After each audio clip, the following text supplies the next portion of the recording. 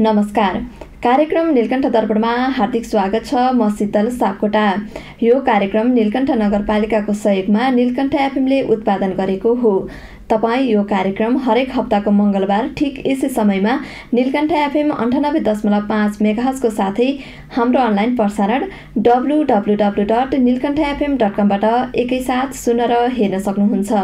हामीले यस कार्यक्रम मार्फत नीलकण्ठ नगरपालिकामा भइरहेका काम गतिविधि र आगामी योजना के छ भन्ने विषयमा कुराकानी गर्दै आइरहेका छौँ।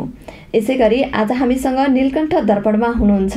नीलकण्ठ नगरपालिकाका सामूहिक कार्यक्रम संयोजक दिनेश द्वाडी। आज हामी उहाँसँग नीलकण्ठ नगरपालिकामा सामूहिक कार्यक्रमले के कस्तो कार्यक्रमहरू सञ्चालन गर्दै आइरहेको छ धादिङ जिल्लामा वैदेशिक रोजगारको अवस्था कस्तो छ भन्ने समग्र विषयमा कुराकानी गर्नेछौँ।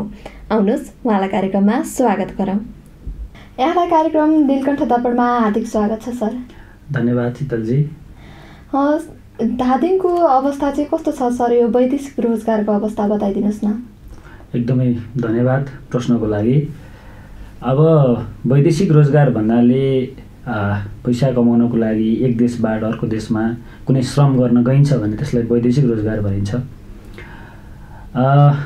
नेपालको तथ्याङ्क अनुसार अथवा वैदेशिक रोजगार विभागको तथ्याङ्क अनुसार हेर्ने हो भने झन्डै छप्पन्न प्रतिशत घर परिवारमा रेमिट्यान्स पुगेको भनेपछि यानि कि सय घरमा छप्पन्न घरमा चाहिँ वैदेशिक रोजगारको रेमिट्यान्स पुगेको भन्ने सरकारी आँकडाबाट के बुझिन्छ भने धादिङ पनि यो क्षेत्रबाट बाहिर छैन।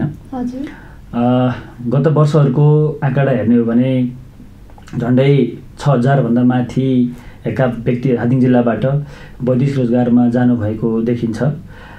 त्यसमध्ये पनि बढी मात्रामा खाडी मुलुकहरू भनौँ यानि कि गल्फ कन्ट्रीहरू गएको देखिन्छ। र धादिङको तुलनात्मक रूपमा हेर्दाखेरिमा अहिले महत्त्वपूर्ण वैदेशिक रोजगारको अथवा रोजगारीको स्रोत भनेको वैदेशिक रोजगार नै भएको अवस्थाले गर्दा धादिङको अब तेह्रवटा स्थानीय तहहरूलाई हामी जिल्ला प्रशासन कार्यालयमा बसेर पासपोर्ट बनाउने जनसङ्ख्याको आधार र फ्लोर हेर्दाखेरिमा सबैभन्दा बढी नीलकण्ठ नगरपालिकाबाट त्यसै गरेर हाम्रो गङ्गा जमुना गाउँपालिकाबाट थाँक्रे गाउँपालिकाबाट धुनिवेशी नगरपालिका एवं रितले अरू पालिकाहरूबाट पनि वैदेशिक रोजगारमा जानुभएको छ। त्यसले गर्दाखेरिमा वैदेशिक रोजगार चाहिँ धादिङसँग एउटा नङ्ग्र मासुको जस्तै सम्बन्ध स्थापित भएकोले गर्दा हामी पनि झन्डै झन्डै नेपालभरिको सतहत्तर जिल्लामध्ये धादिङ पनि तिस जिल्लाभित्र पर्ने एउटा चाहिँ तथ्याङ्कबाट देखिन्छ। तिसदेखि पैँतिस जिल्लाको रेन्जमा पर्ने भएको हुनाले धादिङ जिल्ला पनि यो वैदेशिक रोजगारसँग अछुतो छैन। हजुर। पछिल्लो समय चाहिँ यो वैदेशिक रोजगारमा जानेको सङ्ख्या पनि एकदमै बढ्दो छ होइन?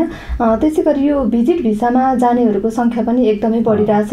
यसले गर्दा चाहिँ यहाँबाट भिजिट भिसामा जाने श्रम स्वीकृति नलिकन जाँदाखेरि उहाँ छिपी बसेर काम गरिरहनु भएका नागरिकहरूलाई चाहिँ विभिन्न किसिमको समस्याहरू देखिएको सामाजिक सञ्जालतिर देख्न सकिन्छ होइन? समाचारहरू पनि आइराखेका छन्। यसले चाहिँ कस्ता कस्ता खाले समस्याहरू चाहिँ निम्ताउन सक्छन्? एकदमै स्वभावले भन्नुभयो अब वैदेशिक रोजगार अहिले देशको महत्त्वपूर्ण एउटा आर्थिक आय स्रोत भएको देशको अर्थतन्त्रमा महत्त्वपूर्ण मेरुदण्डको रूपमा काम गरिएको अवस्था हुँदा वैदेशिक रोजगारमा चुनौतीहरू पनि तपाईँले उठाउनु खोज्नुभएको कुरा चुनौतीहरू पनि छ समाधानका उपायहरू पनि छन्।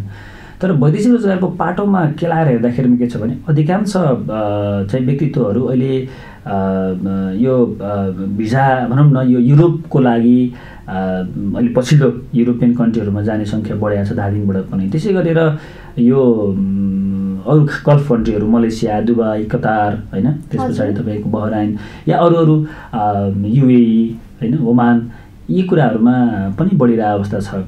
तर तपाईँले उठाउनु भएको प्रश्न कुरा गर्दाखेरिमा अहिले जुन भिजिट भिसाको कुरा गर्नुभयो कस्तो समस्याहरू भइरहनु भएको छ भनेर छ। एकदमै अहिले हामीसँग पनि के देखिन्छ भने अस्ति प्रहरीको मैले केन्द्रीय कार्यालयको तथ्याङ्कहरू पनि एउटा सार्वजनिक देखाएको थिएँ पढाएको थिएँ। अहिले वित्तीय अपराध सम्बन्धी कुराहरू धेरै बढाएको छ कि। हामीसँग प्रहरीमा होस् या कुनै अर्धन्यायिक निकायमा होस् जिल्ला प्रशासनमा होस् अदालतमा होस् धेरै वित्तीय अपराधहरूको भनेको जुन आर्थिक अपचलनका कुराहरू देखिन्छन्। र यो सरस्वती हेर्दाखेरिमा वैदेशिक रोजगार पनि तपाईँको प्रश्नमा आएमा अछुतो छैन। कि विभिन्न आश्वासन र प्रलोभनमा हाम्रा तमाम युवाहरूलाई एउटा चाहिँ आश्वासन दिएर होइन गलत आश्वासन दिएर अनि डिमान्डै नआइकन यस्तो हुन्छ यस्तो तलब हुन्छ भनेर एजेन्टले होइन अब कहाँ डिमान्ड हो कुन देशमा जाने हो के काम गर्ने हो कुन कम्पनी हो केही थाहा हुँदैन। अनि उहाँहरू चाहिँ उहाँको विश्वास गर्नुहुन्छ। अनि विश्वास गरिसकेपछि के हुन्छ? अनि समस्या हुन्छ। अर्को प्रश्न उठाउनु भयो त्यो त्यहाँ जान्छु म फेरि भिजिट भिसाको। म एकदमै यो हाम्रो रेडियो सुन्ने लाइभ हेर्ने सबै दर्शक महानुभावहरूलाई आदरणीय शुभचिन्तकहरूलाई म के भन्न चाहन्छु भने काम गर्नको लागि कृपया मेरो एकदम हार्दिक अनुरोध कृपया भिजिट भिसामा नगइदिनु होला। किनकि यो धेरै जोखिम छ। भिजिट भिसामा काम गर्न जानै हुँदैन। तपाईँ भिजिट भनेको घुम्न जाने हो। भिजिट भिसामा गइसके पछाडि भोलि तलमाथि भयो ज्यानको जोखिम भयो या तपाईँ दुर्घटनामा पर्नुभयो बिरामी भइयो अङ्गभङ्ग भइयो भने सरकारले हेर्दैन। किन हेर्दैन भने तपाईँको निश्चित अवधि हुन्छ। त्यो अवधि व्यतीत भएपछि तपाईँलाई सरकारले कुनै सुविधा दिँदैन। इभन त्यहाँ दुर्घटना भयो नराम्रो घटना गयो भने तपाईँलाई हेर्ने आधार हुँदैन। अनि अहिले चाहिँ के छ भने छिट्टो उड्न पाउने आशामा छिट्टो चाहिँ जाने भन्ने आशामा भिजिट भिसामा हुन्छ म भिजिट तपाईँको भिसा कन्भर्ट गरिदिन्छु भन्ने पनि छन्। एकाध रूपमा केही अब कम्पनीहरूसँग लिङ्क गराउने साथीहरूले गर्नुभयो होला। तर अहिले जति पनि केसहरू आएका छन् जति पनि देशका समस्याहरू हामी कहाँ आउँछन् जति पनि दुर्घटनाका कुराहरू आउँछन् अङ्गभङ्गका कुराहरू आउँछन् हराइरहेका कुराहरू आउँछन् होइन यस्ता घटनाहरूमा चाहिँ अधिकांश मान्छेको भिजिट भिसामा गइसकेपछि सरकारसँग रेकर्ड हुँदैन होइन? रेकर्ड नभइसकेपछि अब त्यसमा कुरा गर्ने किनभने उद्देश्य नै फरक हो नि त। भिजिट भने त घुम्न जाने हो नि। तर भिजिट भिसामा गएर काम गर्छु भन्ने चाहिँ एकदमै त्यो हाम्रो एकदमै के भनौँ मूर्खता नै हो भन्छु म। त्यसमा चाहिँ नजानु होला। भिजिट भिसाले समस्या छ। तपाईँको अहिले लेटेस्ट मसँग घटनै छ नेलकण्ठ नगरपालिका केही वडा नम्बर दुई का केही दिदीबहिनीहरू तपाईँको भिजिट भिसामा तपाईँको चाहिँ विदेश जानुभयो। विदेश गइसके पछाडि उहाँहरू चाहिँ के छ भने अब एजेन्टले त्यहाँ पुर्याए पुऱ्याइसकेपछि त्यहाँबाट चाहिँ उहाँहरूको राख्ने ठाउँ हुँदो रहेछ। त्यो राख्ने ठाउँमा लैसकेपछि उनीहरूले घर घरवाला हुन्छ नि जो घरवालालाई लगेर दिनु हुँदो रहेछ। अनि त्यहाँ काम कुनै कुरा मिलेन भने अब उहाँलाई समस्या हुन्छ मेन्टली मानसिक समस्या हुनसक्छ शारीरिक समस्या हुनसक्छ या बिरामी पर्न सक्नुहुन्छ। अनि तपाईँको के हुन्छ भने दुईवटा केसहरू पनि आए हामी कहाँ हामी कहाँ। अनि त्यो केसहरूलाई हामीले चाहिँ उद्धार गर्ने प्रक्रियामा जुन निल निलकण्ठ नगरपालिकाले सञ्चालन गरेको वैदेशिक रोजगारको लागि सूचना प्रदान गर्ने आप्रवासी स्रोत केन्द्र जुन सिडिओ कार्यालयको उसमा छ। त्यहाँ जाँदाखेरिमा के भयो भने हामीले केही पनि गर्न सकेनौँ। किनभने अब भिजिटमा जानुभएको छ उहाँको अवधि सकिसकेको छ। अनि सकिसके पछाडि उहाँ चाहिँ के छ भने फर्किन सक्नु भएन अब त्यही एजेन्टलाई चाहिँ प्रयोग गरेर होइन? अनि फर्किनुपर्ने अवस्था छ। त्यसले गर्दा सरकारसँग रेकर्ड नभइसकेपछि भोलि गाह्रो हुन्छ। कतिपय खाडी मुलुकहरूमा सरकारले चाहिँ महिला दिदीबहिनीहरूलाई भिजिट भिसामा काम गर्नको लागि अथवा काम गर्नको लागि चाहिँ बन्देज गरेको छ। तर अझै पनि विभिन्न कारणले घराइसी कारणले श्रीमानको कारणले ऋणको कारणले पारिवारिक बोझले तनावले चिन्ताले या पैसा कमाउने आशाले गइरहनु भएको छ। त्यसले गर्दा एकचोटि बरु यहाँलाई जान मन छ भने नि शुल्क रूपमा परामर्श हामी गर्छौँ होइन? जिल्ला प्रशासन कार्यालयमा आउनुहोस्। सोह्र नम्बर कोठा? यहाँलाई भरपर्दो सूचना सरकारी सूचना आधिकारिक सूचना हामी प्रदान गर्छौँ कि वैदेशिक रोजगारमा जानुभन्दा अगाडि होइन? हामी हिँड्दा त मोल घोप्ट्याउँदा त अब भनौँ न ठाउँ हेरेर घोप्ट्याउँछु भने एउटा चाहिँ सारा सपनाहरू पुरा गर्नको लागि विदेश जाँदैछु भने हामी परामर्श गरेर किन नजाने? होइन? त्यसले गर्दाखेरि म भन्छु भिजिट भिसा अहिलेको समस्या छ। त्यही हिसाबले चाहिँ यो सामी कार्यक्रमले पनि नि शुल्क रूपमा सूचना र परामर्शका सेवाहरू निरन्तर रूपमा प्रदान गरिरहेको छ। यदि कसैलाई वैदेशिक गरेर जान मन लागेको छ भने हामी यहाँलाई परामर्श गर्छौँ। तर सकेसम्म विदेश जाने होइन। सकेसम्म यहीँ नै रोजगारी गर्ने हो। तर अब सम्भव भएन। यदि जाने नै भयो भने सही सूचना लिएर गएर त्यसको कुन कम्पनी हो कुन भिजा हो कहाँ हो कति खर्च लाग्छ कति कमाइ हुन्छ त्यसको स्टे समय कति हो भन्ने कुरा जानकारी सामान्य त्यहाँको भाषाका कुरा ज्ञानका कुराहरू तालिमका कुरा लिएर जानुभयो भने त तपाईँ समस्यामा पर्नुहुन्न नि त। कोही समस्यामा पर्छ? पर्दैन। तर हाम्रै कारणले गर्दा हामी समस्यामा परेका छौँ। मैले यहाँ यो जोडेँ के जोडेँ भने भिजिट भिसामा कृपया काम गर्नको लागि कोही दाजुभाइ दिदीबहिनी पनि नगइदिनु होला यसै गरी सर यो भिजिट भिसा भिजिट भिसामा जहाँ वैदेशिक रोजगारमा जाँदाखेरि चाहिँ होइन नेपाल सरकारले प्रदान गर्दै आइरहेको कस्तो कस्तो खाले सेवा सुविधाबाट चाहिँ उहाँहरू चाहिँ वञ्चित हुनुहुन्छ त? एक्ज्याक्टली कति राम्रो कुरा गर्नुभयो। सरकारले श्रम स्वीकृति गरेर तपाईँ जब हाम्रो चाहिँ वैदेशिक रोजगार विभागबाट तपाईँ श्रम स्वीकृति गरेर जानुभयो भने तपाईँ सेफ हुनुहुन्छ क्या? राज्यको नजरमा तपाईँ ओहो लिगल्ली भनौँ न एउटा वैधानिक व्यक्तित्व हुनुहुन्छ। तर जब तपाईँको भिजिट भिसामा विदेश जानुभयो भने कुनै किसिमको दुर्घटना भयो मृत्यु भयो परिवारले क्षतिपूर्ति पाउँदैन तपाईँको इन्सुरेन्स हुँदैन सरकारले दिने क्षति बिमा पाइँदैन र इभन भोलि हजुरका कलिला बालबालिका छन् भने पनि तिनले पनि छात्रवृत्ति पाउँदैनन्। भनेपछि त्यहाँ अप्ठ्यारो अवस्था पऱ्यो भने सबै खर्च फेरि परिवारले गर्नुपर्ने अवस्था हुनसक्छ। त्यो एजेन्ट त कहाँ पुगिदिन्छ? प्रमाण हुँदैन। होइन? अब घुम्न गएको बनाइदिएछ डकुमेन्टमा उसलाई समात्ने आधार केही छैन। तर तपाईँ एउटा जब अलिकति आठ दस हजार खर्च गरेर स्वीकृति सबै मेडिकल सबै गर्दा गरेर जानुभयो भने त कुन कम्पनीबाट जानुभएको कुन मेनबाट जानुभएको दायित्व त बढ्छ नि। अनि छिटो जान पाउँछु।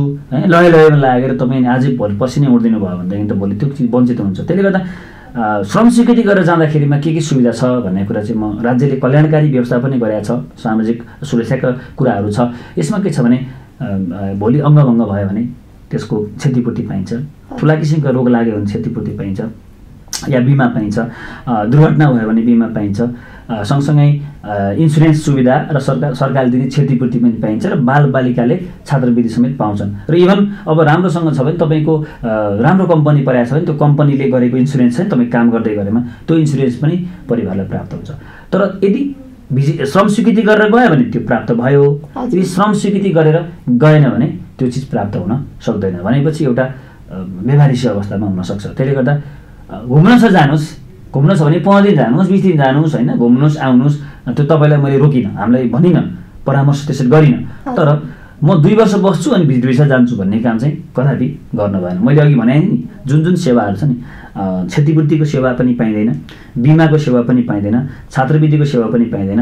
त्यसले गर्दाखेरिमा यो रेडियो सुन्ने तमाम आदरणीय व्यक्तित्वहरूलाई महानुभावलाई मेरो के अनुरोध हो भने काम गर्ने उद्देश्यले चाहिँ भिजिट भिसामा नगइदिनु होला जति नै भने पनि गइराख्नु भएको छ। तर- उहाँहरू तर- बुझेर पनि नबुझेको चाहिँ हो, गरेर बुझेर पनि नबुझेको गर्नुभएको छ। जति भने पनि जति भने पनि जब हाम्रो एमआरसीमा समस्या आउँछ सिडिओ कार्यालयमा समस्या आउँछ नगरपालिकामा समस्या आउँछ अनि के हुन्छ भने अधिकांश समस्या चाहिँ भिजिट भिसाको समस्या आउँछ।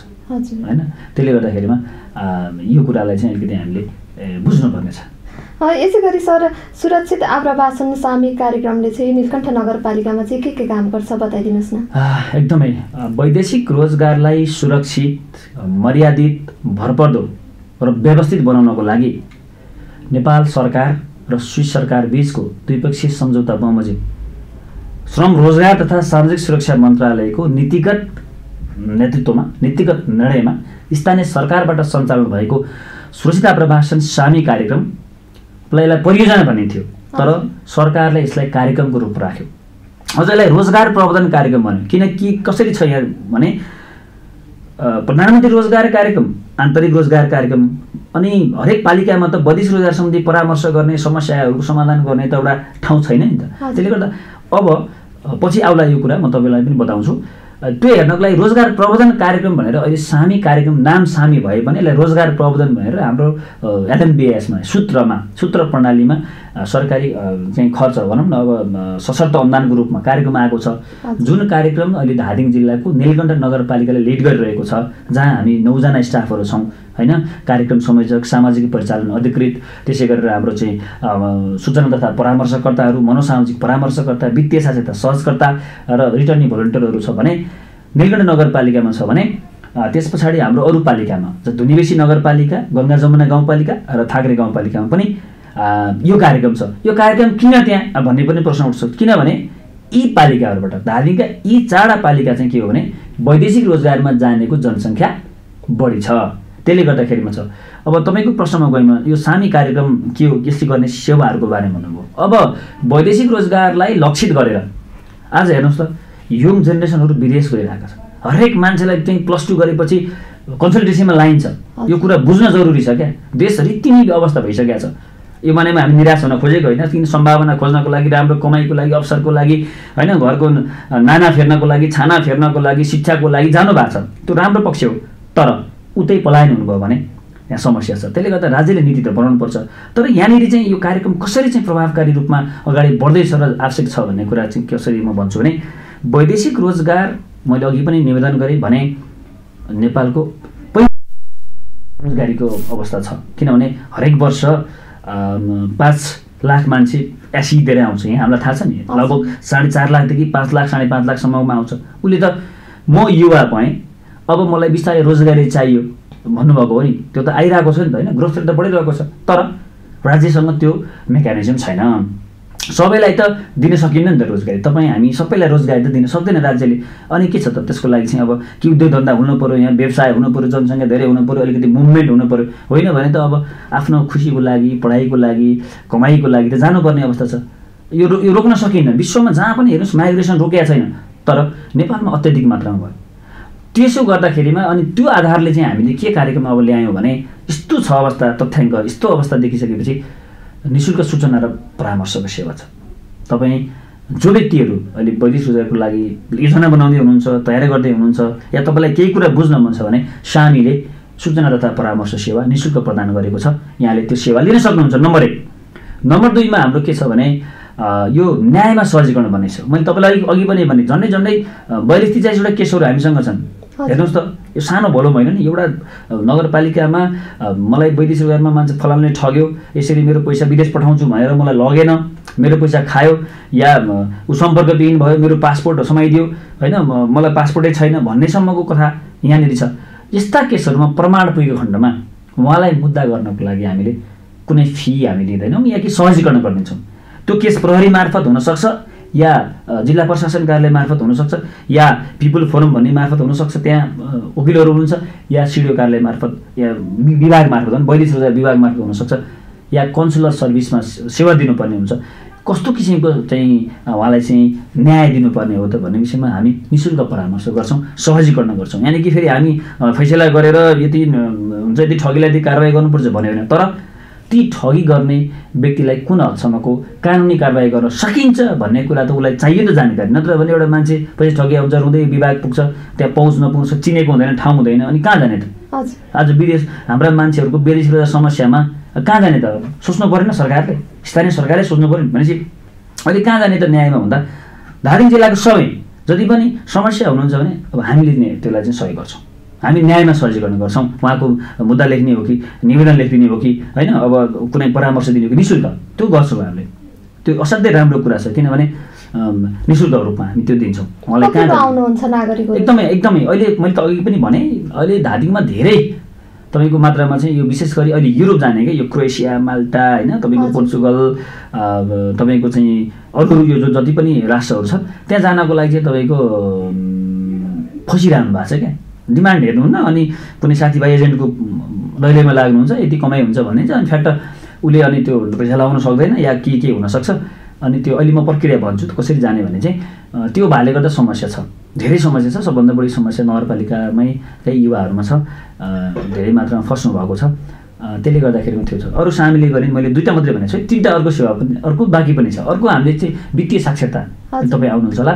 वित्तीय साक्षरताको सेवा छ जसमा चाहिँ श्रीमानले विदेशमा पैसा कमाउनुहुन्छ श्रीमतीले यहाँ चाहिँ होइन मजाले घरबार चलाउनुहुन्छ बालबच्चाहरू खुसी भइरहेका छन् अनि श्रीमानले उहाँ कमाउनुहुन्छ श्रीमतीले यहाँ जोगाउनुहुन्छ अनि यहाँ केही व्यवसाय गर्नुहुन्छ केही ज्ञान प्राप्त गर्नुहुन्छ भन्ने हिसाबले अनि बचत गर्नुहुन्छ फजुल खर्च गर्नुहुन्न बालबेलुकाको स्वास्थ्यका कुरा हेरचाहका कुरादेखि लिएर गएर व्यवसाय योजना बनाउनेदेखि लिएर गएर होइन बुढा उता कमाउने बुढी पनि कमाउने र भोलि भविष्य राम्रो बनाउने भन्ने उद्देश्यका साथ मन्त्रालयले बनाएको एक्काइसवटा चाहिँ कोषको डिजाइनमा हामी वित्तीय साक्षरता कक्षा गरिरहेको छौँ त्यसको म व्यापक रूपमा तपाईँलाई भन्छु। त्यसै गरी अर्को हाम्रो मनोसामाजिक परामर्श छ। वैदेशिक रोजगारमा गएको छ। होइन घरमा श्रीमान समस्यामा परेको छ श्रीमती समस्यामा परेको छ छोराछोरी हराइरहेका छन् अथवा बाबालाई पिए पऱ्यो चिन्ता पऱ्यो आघात भयो मान्छेलाई खान मन लागेन चिन्ता भयो निराशापना भयो डिप्रेसन भयो या विभिन्न किसिमका समस्याहरू पर्छन्। हेर्नुहोस् मनको व्यथा कसैलाई भन्न सकिँदैन कसलाई कहने। अनि मान्छे बिस्तारै होइन? एन्जाइटीमा पर्छ बिस्तारै अनि औषधि सेवन गर्नुपर्ने अथवा आत्महत्यासम्मको अवस्था देखिन्छ भने बेलैमा यो आधारभूत आवश्यकता हो आधारभूत स्वास्थ्य हो यो मन परामर्श भने। मन र समाज असन्तुलन भएपछि मनो सामाजिक समस्या देखिन्छ। अनि त्यो समस्यालाई सम्बोधन गर्नको लागि हामीसँग तालिम प्राप्त मनोसामाजिक परामर्शकर्ता हुनुहुन्छ जसको सहयोगले धेरै मान्छेहरूले आफ्नो चाहिँ आफ्नो भनौँ न यो सा परामर्श सेवा लिएर आफ्नो थप जीवन उज्जवल बनाउनु भएको छ। एउटा चाहिँ चिन्ता डर आघात ट्रमा या मृत्युको मुखबाट पनि बचाउनु भएको छ। बेलैमा मनोसामाजिक समस्या पहिचान गर्न सक्यो भने ठुला किसिमको रोग लाग्न सक्दैन। त्यसले गर्दाखेरि मैले विद्यालयमा यो कार्यक्रम गर्न जरुरी भइसकेको छ। तपाईँको हरेक व्यवसाय पेसा व्यवसाय गर्ने मान्छेलाई पनि स्ट्रेस भइरहेको छ। तपाईँ हामी पेसा व्यवसाय सबै मान्छेमा हरेक चारजना पाँचजना मान्छेमा एकजनामा त्यस्तो समस्या देखिन्छ भने छ त्यसलाई बेलैमा चिन्न सकियो पहिचान गर्न सकियो भने उसलाई थप आशातीत जीवनमा लान सकिन्छ भन्ने हिसाबले हामीसँग त्यो मनोसामाजिक परामर्शहरू छ र हाम्रो अर्को सेवा पनि छ बाँकी। धेरै सेवाहरू काम गरेर छ एउटा सिप तालिम। नि शुल्क सिप तालिम हामी प्रदान गर्छौँ। बेला बेलामा सेड्युल आउँछ। तपाईँको एक महिनासम्म खाना बस्नसहित नि शुल्क सिप तालिमको व्यवस्था छ। एउटा लगाउने जुत्ता आफूले किन्ने हो। यहाँबाट काठमाडौँ जाने भाडा तिर्ने हो। त्योभन्दा बाहेक एक महिनासम्म बसेर तालिममा चाहिँ के के सिकाउनु त्यो तालिममा हामीले खास गरी यो खाडी मुलुकमा चल्ने सिपहरू महिलाहरूको दिदीबहिनीहरूको लागि यो छ नि गार्मेन्ट। गार्मेन्ट भनेको सिलाइ होइन? जो त्यहाँ सिकेर यहाँ पनि त काम लाग्छ उहाँ पनि काम लाग्छ भविष्यमा त्यो गार्मेन्ट सिप सिकेर हामीसँग छ। प्लम्बिङका सिपहरू प्लम्बिङ भनेको जान्नुहुन्छ यहाँहरूले। प्लम्बिङ भनेको यो पाइप फिट गर्नेदेखि धारा होइन? यो सबै घरमा गर्ने प्लम्बिङका कुराहरू छन् त्यसै गरी स्काफोल्डिङ छ सटरिङ कार्पेन्ट्रीहरू छ फर्मा लगाउने कुराहरू छ या चाहिँ हाम्रो त्यो के भन्छ स्काफोल्डिङ होइन अर्को त्यो त्यो झ्यार बनाउने भन्छ त्यो होइन त्यो किसिमको चाहिँ छ जहाँ जहाँ त्यहाँ डिमान्ड छ जे जे त्यो विदेशमा डिमान्ड छ त्यस्तो चाहिँ यो। निशुल्क रूपमा सिक्न पाइने निशुल्क रूपमा पाइन्छ। होइन। को सिक्न पाउँछन् धादिङ जिल्लाभरिकै हो कि यहाँलाई कसैले? होइन यो धादिङ जिल्लाभरिको जो मै- व्यक्तिले पनि पासपोर्ट बनाउनु आउनुहुन्छ उहाँले चाहिँ ल सर मलाई सिप तालिम चाहियो भन्यो भने हामी सिफारिस गरिदिन्छौँ सिफारिस गरेपछि के भने उहाँलाई तालिम सेन्टरबाट फोन आउँछ। अनि फोन आइसकेपछि उहाँलाई चाहिँ हातमा त्यो पासपोर्ट बनाएको स्लिप लिएर गएपछि हुन्छ। त्यसमा उमेरको कुरा छ बालबालिकाले प्रयोग गर्न पाउँदैन। कमसेकम अठार वर्ष कटिसकेपछि पैँतिस वर्ष ननाएको चालिस वर्ष ननाएको नागरिक हुनुभयो र कमसेकम अलिकति लेख्न पढ्न गर्न सक्ने हुनुभयो भने त्यहाँ काम लाग्छ। र अहिले पछिल्लो समयमा तपाईँलाई के भन्छु भने जो दिदीबहिनीहरूले अहिले यो चाहिँ के अरे जो दिदीबहिनीहरूले अहिले चाहिँ यो गार्मेन्टको तालिम लिएर जानुभएको छ नि उहाँको राम्रो छ है। किनभने सिप सिक्नुभयो। अनि त्यहाँ पेसा पनि राम्रो भयो ठाउँ पनि सुरक्षित भयो। कमाइ पनि राम्रै हुने अनि त्यो सिप यहाँ आएर नि काम लाग्ने होइन? त्यसो त्यसो हुँदाखेरिमा यो गार्मेन्ट सम्बन्धी पनि राम्रो छ। त्यसै गरी त्यो अब अलिकति यो सिपको चाहिँ कुरा हामीले अझै चेन्ज पनि गर्नुपर्ने छ जस्तो लाग्छ। मैले भन्- अस्ति कार्यक्रममा पनि भनेको थिएँ। अलिकति आधुनिक किसिमका जस्तै ड्राइभिङका कुराहरू होइन? यो बार्बिक्यूका कुराहरू नयाँ नयाँ किसिमका चाहिँ कुक सम्बन्धी कुराहरू जो चाहिँ त्यो मार्केटमा छ नि त्यसो गर्ने हो। सकेसम्म त यहीँ गर्ने हो। अनि। अस्ति एउटा कार्यक्रम पनि हेर्दै थिएँ हेर्नुहोस्। नेपाल यस्तो देश हो जहाँ चाहिँ खालि अध्यक्ष कामदार मात्रै पठायो क्या यो हामी तपाईँ हाम्रो लागि चाहिँ अलिकति यो विडम्बनाको कुरा। अब त्यही काठमाडौँमा राम्रो राम्रो चाहिँ डिजाइन गर्ने मान्छे सबै तराई अथवा तराई भन्दा पनि भारतबाट आउनुहुन्छ। उहाँले चाहिँ लाखौँ पैसा कमाउनुहुन्छ। तर हामीसँग चाहिँ कस्तो भयो भने त्यो मेकानिजमै भएन क्या सिप सिक्नु भन्ने मेकानिजमै नभइसकेपछि हातमा सिप भन्ने मान्छे भोगो रहन्छ र? भन्नुहोस् त। हातमा सिप भन्ने मान्छे भोगो रहँदै रहँदैन नि। तर सिप बिहा गएपछि के गर्ने? अब त्यही थ्री काम गर्नु पऱ्यो। थ्री भनेको डट्टी डिफिकल्ट डेन्जर काम गर्नु पऱ्यो। अनि एउटै काम गर्ने कम्पनीमा अलिकति सिप छ उसको पैँतालिस सय पचासी दिराम तलब यहाँ मलेसियन ड्रिङ्केट तलब होला। अनि त्यो सामान्य काम हाम्रो दाजुभाइ चाहिँ थोरै काममा काम गर्नु पऱ्यो। त्यसले गर्दाखेरिमा त्यो चिजको अन्त्य होस् त्यो त्यो ज्ञान होस् भन्ने हिसाबले चाहिँ हामीले यो सिप तालिममा अहिले कमसेकम एउटा बानीको विकास गर्नको लागि चाहिँ सामेल गरिरहेको छ। अब यी कार्यक्रमहरू सामेल होइन स्थानीय सरकार या अरू प्रदेश सरकार सङ्घीय सरकारले गर्नुपर्छ। अहिले हाललाई चाहिँ हामीले यी पाँचवटा उद्देश्यका साथ धातीमा काम गरिरहेको छ। यहाँले अघि भन्नुभयो कि वित वित्तीय साक्षरता मार्फत चाहिँ हामीले कक्षाहरू सञ्चालन गरिरहेछौँ भनिराख्दाखेरि चाहिँ यो कार्यक्रममा चाहिँ कतिको नागरिकहरू चाहिँ कतिको सहभागिता भएको पाउनु भएको छ? मैले अघि पनि निवेदन गरेँ वित्तीय भनेको पैसा साक्षरता भनेको पैसा चिन्ने भनौँ होइन? अब वित्तीय साक्षरता वास्तवमा ऋण लिने र दिने मात्रै होइन रहेछ क्या। जति म पढ्दै गएँ यो भनेको एउटा मान्छेको जन्मदेखि मृत्युसम्म हुने कुरा रहेछ अनि घर परिवारदेखि लिएर गएर उसको सारा परिवारको शिक्षादेखि लिएर गएर बालबालिकाको भविष्यदेखि लिएर गएर स्वयं आफ्नै आफ्नो जीवन पनि कस्तो बनाउने भन्ने र आफ्नो वित्तीय लक्ष्य वित्तीय लक्ष्य भनेको तपाईँ हामी सबै त केही कमाउन चाहन्छौँ नि। हामीले अहिले रहेको तपाईँ हाम्रो सबैको स्ट्याटस फेर्न चाहन्छौँ तर स्ट्याटस फेर्ने हो भने हामीले केही नयाँ ढङ्गबाट सोच्नै पर्छ। पऱ्यो कि परेन? पऱ्यो नि। हामीले केही कर्म त गर्नै पर्छ तर त्यो कर्म गर्ने दौरानमा तपाईँलाई सही बाटो देखाउने। अर्थ आर्थिक कुरालाई चाहिँ कसरी चाहिँ हामीले सही परिचालन गर्न सकिन्छ कसरी फाइनेन्सियल इन्स्टिट्युसन लिङ्केज गर्न सकिन्छ कसरी पैसा बचाउन सकिन्छ कसरी चाहिँ लगानी गर्न सकिन्छ के गर्दाखेरिमा राम्रो छ मार्केट अहिले बजार के उत्पादन गर्दा राम्रो हुन्छ भन्ने कुरा चाहिँ एउटा शिक्षा। त्यो शिक्षा चाहिँ अहिले त मलाई लाग्छ हेर्नुहोस् यो जरुरी छ। किनभने वैदेशिक रोजगारबाट प्राप्त भएको पचहत्तर पर्सेन्ट पैसा मानव एक लाख रुपियाँ आएको छ भने पचहत्तर लाख पैसा उदाहरणको लागि है? अब अर्बमा खर्बमा हिसाब नगरौँ। पचहत्तर हजार पैसा चाहिँ उपभोगमा जान्छ क्या हाम्रो खान लाउन होइन? अब बच्चा बच्चीको सबैमा जान्छ। अनि पच्चिस पर्सेन्ट पैसा मात्रै सदुपयोग हुन्छ कि? अब कस्तो छ भने केही समय त बाढी झै आउँछ होइन? अब त्यो प्रयोग गर्यो तर अब पाँच वर्षपछि ऊ फर्केर आयो। अनि के गर्ने त? अब पैसा त सकिसक्यो। फेरि अबको प्लान गर्नु पऱ्यो बेरोजगारी हुने भयो भने चाहिँ कमसेकम कमाएको पैसालाई सही सदुपयोग गर्न सकेर अलिकति एउटा चाहिँ बा बाटो बचत हुन्छ या बिजनेस हुन्छ सहकारी हुन्छ कहाँ जोड्ने त्यो बाटो गर्नलाई सिधा चाहियो नि त मान्छेले। नत्र भने बजार पैसा लिएर आयो रेमिटेन्स आएको हुन्छ अनि सबै हराभरा देखिन्छ। है त्यो पनि राम्रो लाग्छ त्यो जुत्ता पनि राम्रो लाग्यो त्यो साडी पनि राम्रो लाग्यो त्यो भनौँ न हामीलाई त्यो राम्रो राम्रो गुडिया पनि बच्चा बच्चीलाई खेलाउने राम्रो लाग्यो। अब त्यतिमै त्यो सकियो। तर खर्च गर्दा कुनै चिज जरु कुन चिज जरुरी हो? कुन चिज जरुरी होइन? मलाई कुन आवश्यकता छ? या बच्चा बच्चालाई बच्चा बच्चीलाई चाहिँ खानेकुराहरू अथवा खाजामा पैसा दिँदा फाइदा कि खाजा बनाउँदा फाइदा त भन्दा यी तल्लो लेभल लेभलदेखि माथि लेभलसम्म क्या सुरु स्टेजदेखि अन्तिम स्टेजसम्म चाहिँ एक्काइस हप्तामा हामीले चाहिँ यो वित्तीय साक्षरता कक्षा राखेका छौँ। त्यो के हो त भन्दा पैसालाई चिन्ने हो। अब अहिले जरुरी भइसक्यो। वित्तीय साक्षरता कक्षा चाहिँ धादिङ जिल्लाको कुन कुन गाउँपालिकामा सञ्चालन वित्तीय साक्षरता अहिले हामीले सामी कार्यक्रम स्वाभाविक रूपमा सामी कार्यक्रम सञ्चालन भएका स्थानीय तहहरू नीलकण्ठ नगरपालिका दुनिबेसी गङ्गा जमुना थाक्रे मैले अघि भनिहालेँ यो निरन्तर रूपमा हाम्रो अन्य गाउँपालिकामा छ। अन्य गाउँपालिकामा आवश्यक छ। अब प्रधानमन्त्री रोजगार कार्यक्रम अन्तर्गतका हाम्रा चाहिँ यो रोजगार संयोजकजीहरूले अब यो विषयलाई पनि अलिकति आफ्नो नीति कार्यक्रममा राखेर लानुपर्छ। अघि मैले जोडिहालेँ वित्तीय साक्षरतामा चाहिँ विशेष गरेर हाम्रो टार्गेट चाहिँ के हो भने रेमिट्यान्स प्राप्त गर्ने आमा दिदीबहिनीहरूलाई राखेर त्यो चाहिँ कसरी चाहिँ अझै राम्रो आर्थिक उपार्जन गर्न सकिन्छ तपाईँको भइरहेको स्ट्याटस कसरी चेन्ज गर्न सकिन्छ भन्ने हिसाबले चाहिँ थियो। हाम्रा तालिम प्राप्त प्रशिक्षकहरूबाट त्यो कार्यक्रम भइरहेको छ। ओभरअल हामी त्यसको मोनिटरिङ गर्छौँ होइन समन्वय गर्छौँ सहकार्य गर्छौँ। अहिले वडाहरूले पनि साथ दिइरहनु भएको छ। राम्रो कार्यक्रम स्वाभाविक रूपमा अगाडि बढ्छ। किनभने शिक्षा प्राप्त गर्ने शिक्षा भनेको चाहिँ अन्तर्नित प्रतिभाको प्रस्फुटन पनि हो होइन? त्यसले गर्दाखेरिमा वित्तीय साक्षरता राम्रो छ र एकदम यो जरुरी पनि छ अबको दिनमा यो जरुरी पनि छ। कतिको प्रभावकारी भइरहेको एकदमै प्रभावकारी छ। खुसी पनि लाग्छ म कहिलेकाहीँ पुग्छु। यसो दिदीबहिनीहरूसँग कुराकानी गर्नु पुग्दाखेरिमा हामीले बचत गर्न बानी थिएन बचत गरेका छौँ। के अरे चाहिँ फजुल खर्चहरूलाई नियन्त्रण गरेका छौँ। बालबालिकालाई घरकै खानेकुराहरू खुवाएका छौँ।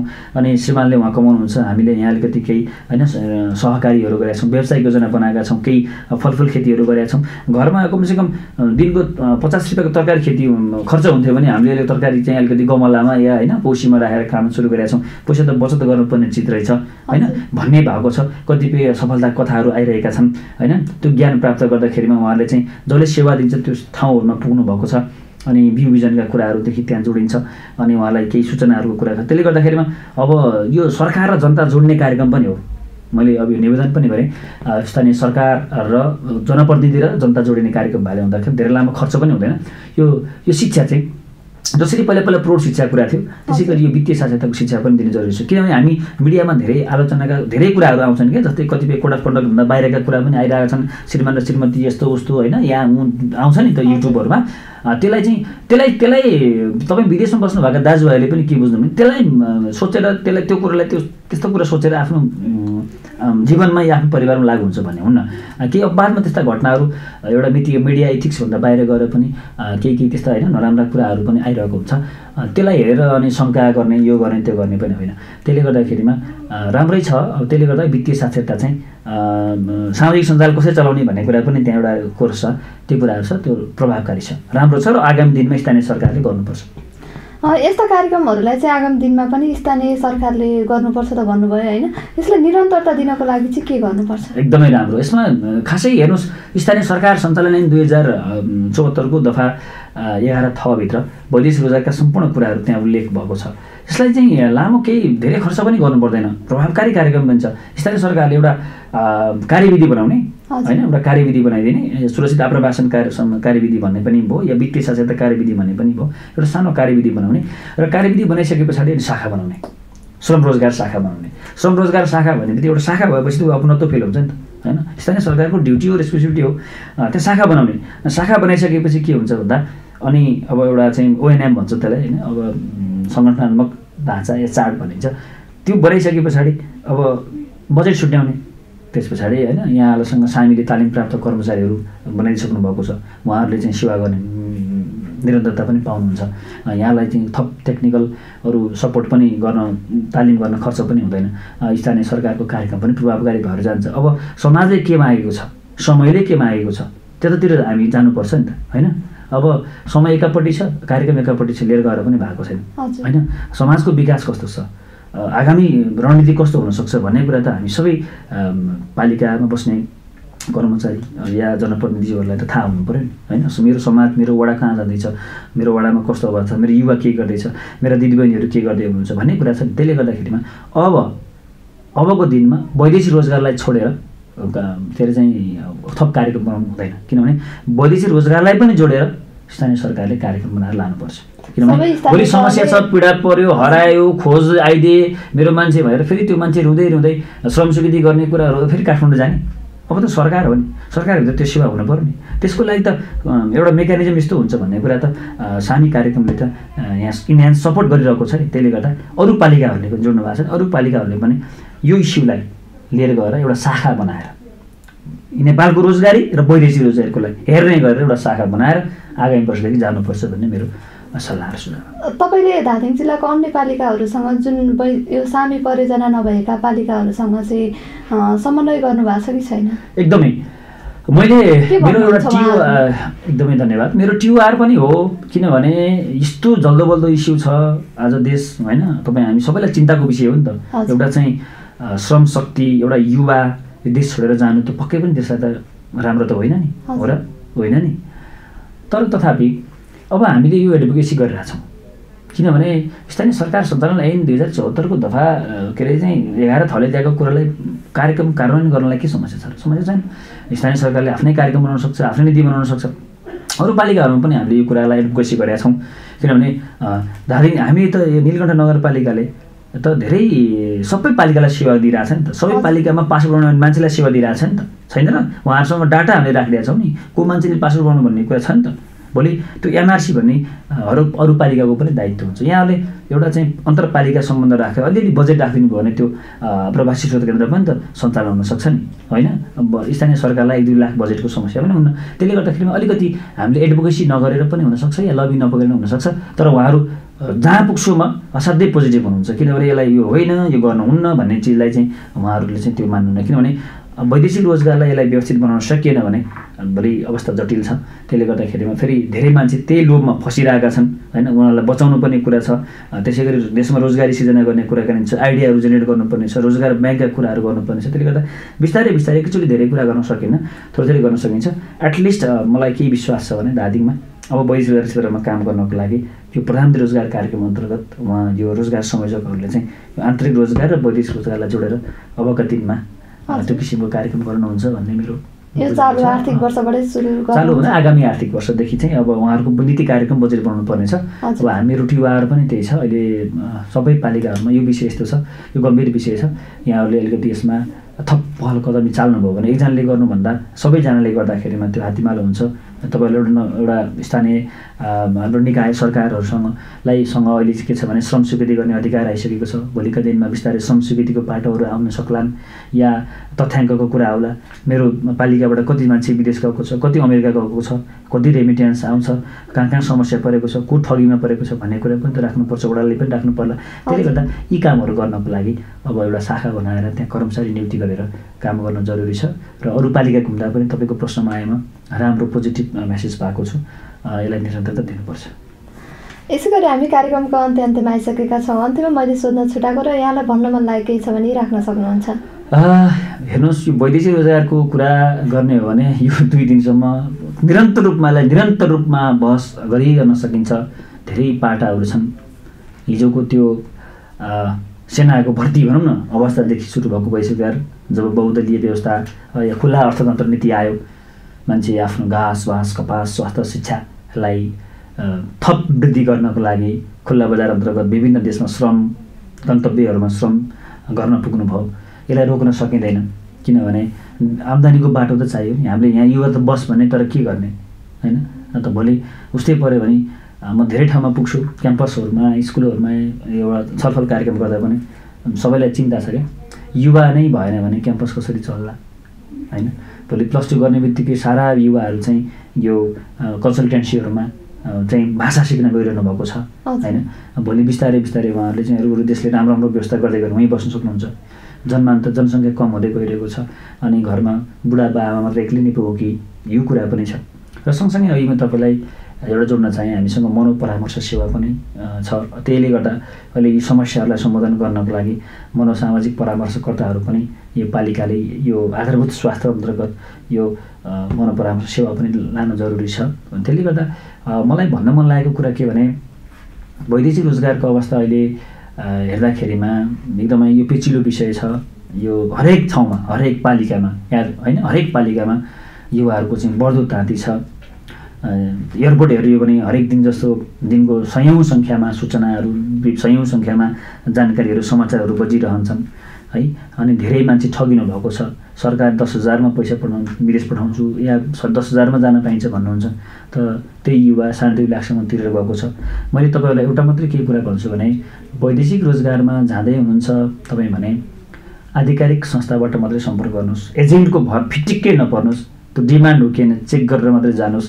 अनि त्यहाँ गएर काम कति हुन्छ कन्ट्याक्ट गरेर होइन अनि घर सल्लाह गरेर लागत कति हुन्छ नेपालकै एयरपोर्ट प्रयोग गरेर भिजिट भिसामा नभइकन काम गर्न जानुभयो भने तपाईँको यात्रा सुरक्षित हुन्छ। यदि तपाईँ त्यसो गर्नु भएन र थप अरू लालचमा जानुभयो भने समस्या पर्न सक्छ। फेरि यो भन्दै गर्दा यहाँहरूले केही जिज्ञासा या कमेन्ट पनि गर्न सक्नुहुन्छ होला किनभने र सरकारले रोजगार दिन सकेका छैन अनि त्यहाँ कुरा गरेर हुन्छ भन्नुहुन्छ होला। हो स्वाभाविक रूपमा तपाईँ हामी सबैको एउटै अब समस्या हो एउटै चाहिँ छ। त्यसले गर्दाखेरिमा सम्भावना पहिला त हामीले हाम्रो राष्ट्रमा खोज्ने पहिला राष्ट्र हुन्छ अनि अरू कुरा हुन्छ। त्यसले गर्दा त्यो सम्भावना खोज्ने क्रममा हामीले पनि अलिकति केही मिहिनेत केही सिपहरू हासिल गर्न सक्यो भने हाम्रो देशमा आएर लाने पैसा त अरूले हामी यहीँ गर्न सकिन्छ। त्यसले गर्दाखेरिमा यी सबै चिजलाई चाहिँ ध्यान दिनुपर्छ र विशेष गरी कागजपत्रहरू घरमा राख्ने होइन वैदेशिक रोजगार सम्बन्धी जानकारी लिएर जाने गन्तव्य मुलुकमा पुगिसकेपछि त्यहाँको भाषाको कुराहरू गर्ने र यो सबै कुराहरू हामी गरियो भने हाम्रो यात्रा सुरक्षित हुनसक्छ हाम्रो घर परिवार राम्रो हुनसक्छ हामीले सोचेको लक्ष्य प्राप्त हुनसक्छ। मैले यही नै भने यसका धेरै कुराहरू छन्। केही जानकारी चाहियो केही चाहिँ थप परामर्श चाहियो भने सधैँ तपाईँको नीलकण्ठ नगरपालिका यहाँहरूको सेवामा तत्पर छ। मैले यही जानकारी गराएँ। हस् धन्यवाद। नमस्कार। नमस्कार। उहाँ हुनुहुन्थ्यो नीलकण्ठ नगरपालिकाका सामी कार्यक्रम संयोजक दिनेश दुवाडी आज हामीले नीलकण्ठ नगरपालिकामा सामी कार्यक्रमले के कस्तो कार्यक्रमहरू सञ्चालन गर्दै आइरहेको छ यसबाट नागरिकहरूले कतिको सेवा सुविधाहरू प्राप्त गरिरहेका छन्। वित्तीय साक्षरता कार्यक्रमले नागरिकहरूमा के कस्तो प्रभाव पारिरहेको छ त्यसै गरी वैदेशिक रोजगारबाट हुने तनावलाई कम गर्न मनोसामाजिक परामर्शले नीलकण्ठ नगरपालिकामा के कसरी काम गरिरहेको छ जस्ता समग्र विषयमा कुराकानी गरिसकेका छौँ। आगामी हप्ता फरक अतिथिको साथमा उपस्थिति हुने नै छु। त्यतिन्जेलसम्मको लागि कार्यक्रम नीलकण्ठ दर्पणका सम्पूर्ण टिमसहित म शीतल सापकोटा पनि बिदा हुन्छु। हस्त धन्यवाद। नमस्कार।